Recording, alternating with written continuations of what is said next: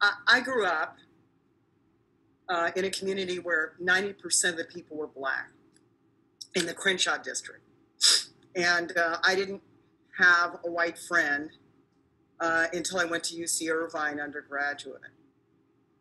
And I had these, when I went to college, I just had these preconceived ideas um, about people who were, who didn't look like me. Um, long story short, then I ended up getting into becoming a lawyer and went to USC.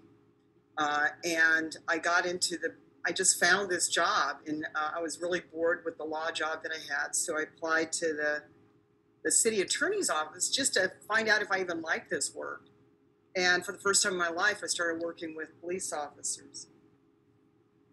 Uh, I often wondered in those early days uh, because I was there would be times I'd be assigned to a, a, office, a satellite office, where I'd be the only black person who wasn't in custody, and all of my white lawyers, the only other black people or Latino people they saw, were defendants, and I wondered, you know, psychologically, what impact they that had.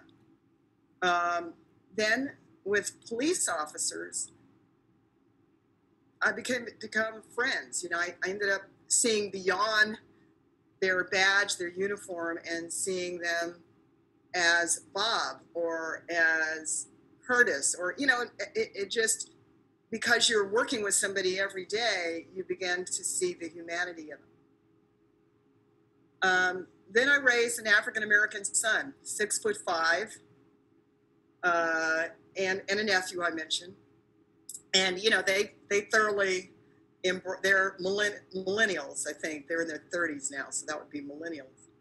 And you know, they used to thoroughly embrace the hip hop culture, and they would wear the saggy pants and what have you. But I wondered if they were being stereotyped, you know, by the way they dress. And so I think we all have these stereotypes now, and no one's really looking at the individual. And I say that I see that with police culture but I also see that uh, with some members of my own family who don't know police officers very well.